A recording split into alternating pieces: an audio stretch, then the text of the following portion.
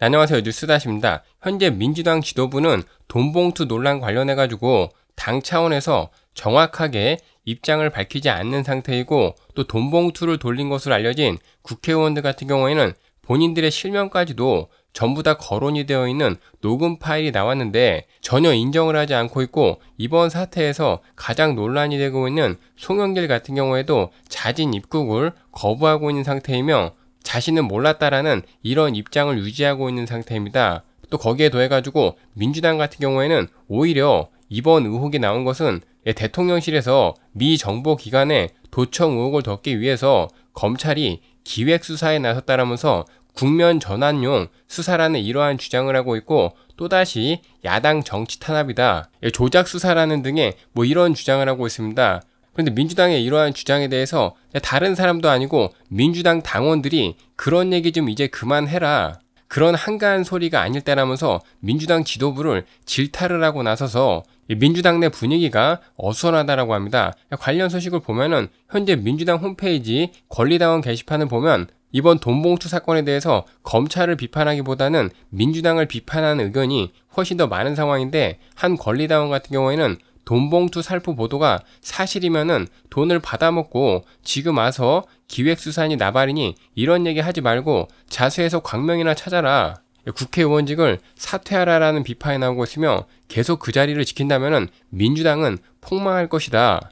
당 지도부는 사실관계를 최대한 빨리 파악을 하고 빠른 시간 안에 결판을 내야 한다면서 스스로 살 길을 찾아야지 민주당을 살릴 수 있다라는 이런 의견이 올라와 있는데요. 또 이뿐만이 아니라 또 다른 당원도 돈봉투 문제는 솔직히 고백을 해야 되고 투명하게 공개한 뒤에 사과하고 재발 방지를 약속을 해서 조기에 털고 나와야 한다면서 오래 갈수록 총선에 불리한 것은 자명하다라고 이야기하고 있습니다. 또 이뿐만이 아니라 또 다른 당원 역시도 더불어 돈봉투당이다. 너네가 정당인가? 수사 타이밍이 이상하다 어쩌고 저쩌고 하는데 수사 당할 일 자체를 안 했으면은 이런 일이 없다라고 지적을 하고 있고 이런 썩은 것들이 과연 김대중 정신을 계승한다라고 말하는 게 어이가 없다라고 비판을 하고 있습니다. 이 외에도 현재 민주당 당원 게시판 같은 경우에는 한숨이 나온다라든가 차떼기 당의 명성을 왜 이어받는가 돈봉 투당이 된 것을 감축을 드린다라는 등의 이런 민주당 내부 비판이 쏟아지고 있고 이번 사태를 두고 기획수산이 정치 탄압이냐 하는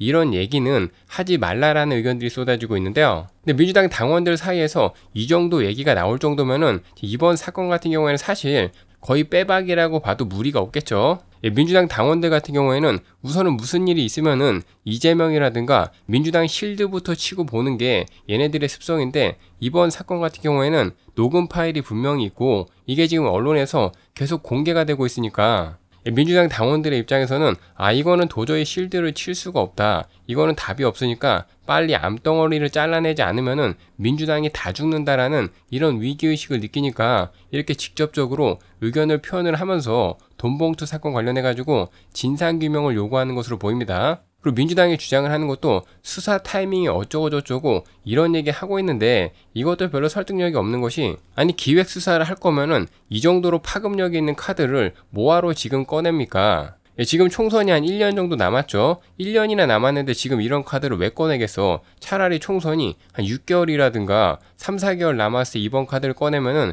훨씬 더 파급력이 있고 민주당 지지율 깎아먹는데 더 많이 도움이 되는데 검찰이 바보도 아니고 그 타이밍 하나 제대로 못 재가지고 이 카드를 지금 꺼내고 있겠습니까? 법조계에서 들린 얘기에 따르면은 현재 검찰의 수사가 급물살을 타고 있는 것에는 이정근의 협조가 가장 큰 역할이 있었고 이정근 같은 경우에는 바로 얼마 전에 1심 판결에서 재판부가 검찰의 구형보다도 한 50% 정도 더 세게 때렸죠. 이 판결 이후에 이정근 같은 경우에는 상당히 지금 겁을 먹었다라고 이야기하고 있고 이정근이 검찰 수사를 받기 전에 언론 인터뷰를 한 거 보면은 완전히 싹 잡아떼고 검찰의 정치 수사라고 주장을 하고 있는데 본인의 논리가 전혀 법정에서 통하지 않는다라는 것을 이번에 확인을 하고 또 거기에 더해서 재판부에서는 이정근이 돈을 요구한 다음에 돈을 뿌려놓고 전혀 반성을 안 하고 오히려 수사기관에다가 뒤집어 씌우려고 하고 있는 이런 행태에 대해서 괘씸죄를 적용을 해가지고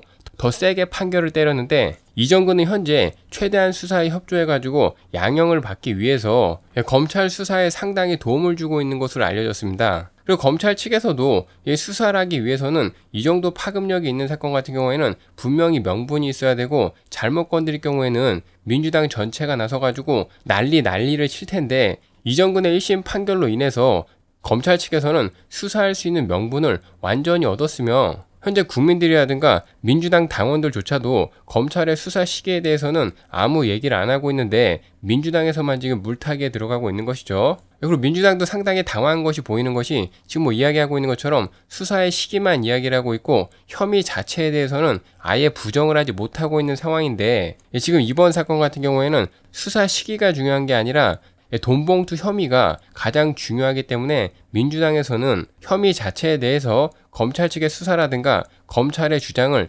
탄핵시킬 수 있을 만한 이러한 주장을 내놓지 못한다면은 이번 사건 같은 경우에는 정치적인 대응으로는 빠져나가기가 힘들 것으로 보입니다. 집토끼들조차도 설득을 못 시키는데 이게 물타기가 되겠습니까? 아무튼 뭐 상황이 이러하다 보니까 민주당 지도부 측에서도 상황을 수습하겠다랍시고 내부 논의를 거쳐서 다음 주 중에 TF를 구성을 해가지고 자체적으로 진상조사에 나서겠다라는 이런 대책을 발표했는데 사실 뭐 이것도 별로 의미가 없죠. 우리 식구 잘못을 우리가 조사하겠다라는 것인데 이런 식으로 조사해서 제대로 조사된 전례가 없으며 노웅래 같은 경우에도 한동훈 장관이 이야기했다시피 뇌물 받아먹는 돈봉투 부스럭거리는 소리까지도 그대로 다 녹음이 되어 있는 이런 혐의까지 나왔음에도 불구하고 민주당은 방탄을 치고 거기에 더해서 이재명이라든가 김봉현한테 뇌물을 받은 것으로 지금 알려지고 있는 기동민이라든가 민주당 의원들 다수를 본인들이 자체적으로 감싸고 있기 때문에 민주당에서 아무리 자체 조사를 해가지고 결과를 내봤자 국민들을 설득하기는 힘들 것으로 보입니다.